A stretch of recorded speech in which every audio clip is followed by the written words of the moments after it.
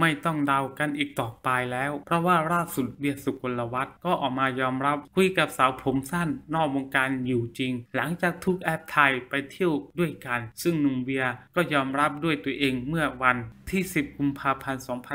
2565 ก็ทำเอาชาวเน็ตหลายๆ คนต่างแสดงความคิดเห็นถึงเรื่องนี้กันหลากหลายรูปแบบ โดยก่อนหน้านี้เบียร์สุกลวัฒน์ก็ได้เผยว่า ก็ตกใจที่มีภาพออกมา เพราะว่าไม่รู้ตัวว่าโดนแอบถ่ายต่อไปใครจะขอถ่ายก็มาถ่ายได้เลย ไม่ต้องแอบไม่มีอะไรปิดบัง แต่ขอความเป็นส่วนตัว เพราะว่าเขาไม่ใช่บุตรคนสาธารณะ ทั้งนี้บรรดาแฟนคลับและก็ชาวเน็ตก็ได้เข้ามาคอมเมนต์ในเพจใต้เตียงดาราในโพสต์ที่เวียยอมรับว่าคุยสาวสั้น ซึ่งแนวทางคอมเมนต์ก็มีหลากหลาย ด้วยกันและก็มีการคอมเมนต์มากกว่า 3.7 พันครั้งในเวลาเพียงแค่ 2 ชั่วโมงเท่านั้น ซึ่งความคิดเห็นต่างจากชาวเน็ตมีทั้งทีมของเบลล่าทีมของเวียร์ แล้วก็ฝ่ายที่มองเป็นกลาง มีคนเข้ามา บอกว่าเห็นใจและก็สงสารสาวเบลล่ามากๆ แต่ก็มีทีมของเวียร์และก็ทีมที่เป็นกลาง ที่มองว่าเวียร์ไม่ได้ทำอะไรที่ผิดคนเลิกกันแล้วก็จะ move on ก็ไม่ใช่เรื่องที่แปลกคอมเมนต์ชาวเน็ตก็บอกว่าเวียร์ก็ไม่ได้